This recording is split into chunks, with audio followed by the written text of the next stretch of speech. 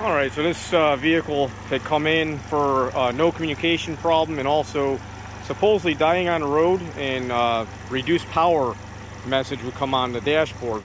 What is going on everybody? Brian Mann here, hands-on auto training. Do you ever have cars that you don't totally fix or you're not 100% sure what happened to get the thing going?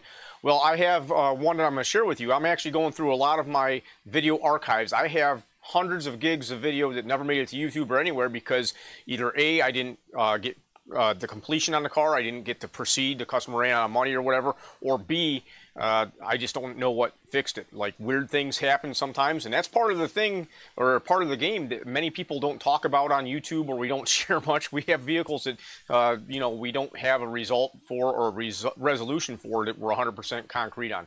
So here we have a 2007, I believe, uh, Pontiac G6. This is August of 2022. Let's take a look. When I got in here, we had no communication. Um, zero communication with the scan tool. Nothing would communicate. Uh, the CAN bus had some really weird resistance. Guys, all I did was play around right over here in this connector. Uh, the CAN bus goes through here and my communication came back. So to be clear here, guys, I did not have any high-speed communication. That's 6 and 14 at the DLC. We did not have any communication with the body control module, vehicle communication interface module, which I don't think this one had. Uh, the power steering module, brake control module, engine control module. We didn't have communication with any of these modules, so we want to find an easy spot to divide and conquer. In this instance, I ended up looking at this connector 206. I figured this would be a nice place to split the network up, and I disconnected 206, and I had to find 206 actually, and believe it or not, uh, going into the master uh, connector list here, you can see we got 206. It says here it's an IP harness to body, left side of IP access panel. That's what that says. What I had had trouble with is trying to find 206 uh, like this, going to C206 in ALLDATA. It didn't really come up with a uh, good location of it. It just says, here you go, this is what, it, what the connector looks like. Going into diagrams and locations, I could not find this connector. So even if you go here and hit connectors, connectors by number, it did not come up. If you go to C200, you see here we have 207 and C214. 207 is close to 206, uh, but it doesn't come up here. You can see here in this uh, little picture they don't have 206. So I did find this uh, connector in the instrument panel. I disconnected it. I checked my resistance both ways and I had 120 ohms both ways. So I think the problem might have been in the connector. I inspected the terminals, didn't see anything. We put it back together and communication came back. Play around right over here in this connector. Uh, the CAN bus goes through here and my communication came back. I was very baffled by that. When the communication did come back, I did have, uh, the only code in the PCM was a code for a camshaft position sensor for the intake. Um, and this camshaft sensor was like not even installed all the way. It was partially out. The bolt was semi-stripped.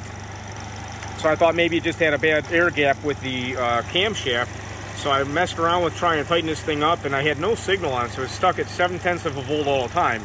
So I went ahead and put this new camshaft position sensor in and it seems like it, uh, it got all fixed up and it was running good. Every once in a while, uh, well as you see here, we have a rat's nest here. I got to dig into this and see if we have any wires that are compromised. Every once in a while this will pop a misfire on cylinder number one.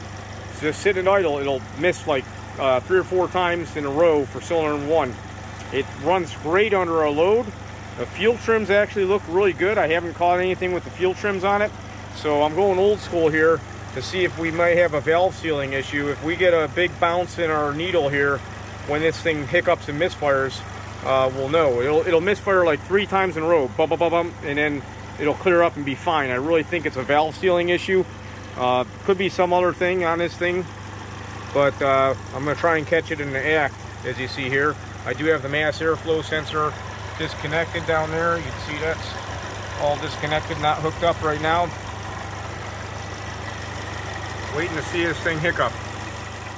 Now this vehicle has been on the road for quite a while. The customer called me months later saying it was still working and I haven't heard from it since. So if you guys have any questions, comments, or concerns, let me know what you think. Also, take a look at that vacuum gauge. I was thinking my vacuum was a little bit low at idle here. This is with the mass airflow disconnected, which shouldn't have any effect on the actual pumping of air through the engine, uh, the way it breathes. What I mean is like I was, you know, a good running old school car. We're expecting, what, 18 inches or so and uh, this was definitely on the lower side. I do believe because it's a variable cam timing vehicle, that's probably what's going on there. This thing ran great down the road. As I said, fuel trims were spot on, plenty of power, and this thing didn't miss a beat for a long time. So if you guys have any questions, comments, or concerns, please do let me know. We'll see you next time. Bye-bye.